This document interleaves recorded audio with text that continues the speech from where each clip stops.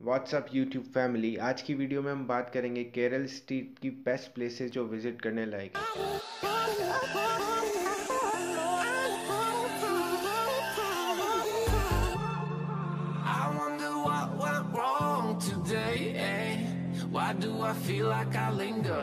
आज की वीडियो में नंबर फाइव पे रखा है कन्नूर को जो द क्राउन ऑफ़ केरल के नाम से भी जाना जाता है।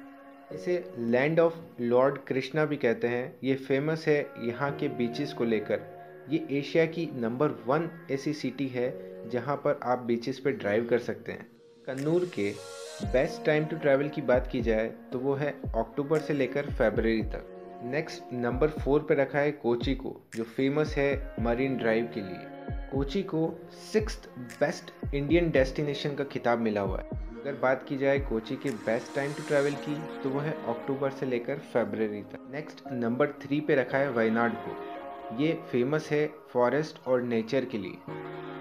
अगर यहाँ के बेस्ट टाइम टू ट्रैवल की बात की जाए तो वो है अक्टूबर से लेकर फरवरी तक। नेक्स्ट नंबर टू पे रखा है मुन्नार को।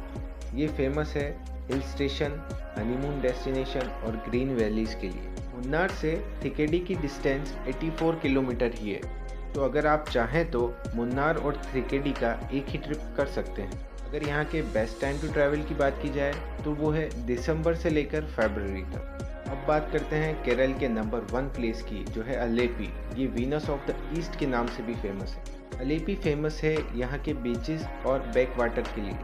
अगर यहाँ के बेस्ट टाइम टू ट्रैवल की बात की जाए तो वह है नवंबर से फरवरी तक। तो आज की वीडियो को अगर कंक्लूड किया जाए तो नंबर फाइव पे रखा था कन्नूर को नंबर फोर पे रखा कोची को नंबर थ्री पे रखा वायनाड को नंबर टू पे मुन्नार और नंबर वन पे अलेपी अगर ओवरऑल बात की जाए तो केरल में मानसून और समर्स के टाइम न ही जाया जाए तो बेटर रहेगा। आज के लिए इस वीडियो में बस इतना ही रखते हैं। नेक्स्ट वीडियो में फिर मुलाकात होगी कुछ इंटरेस्टिंग इन्फॉर्मेशन के साथ।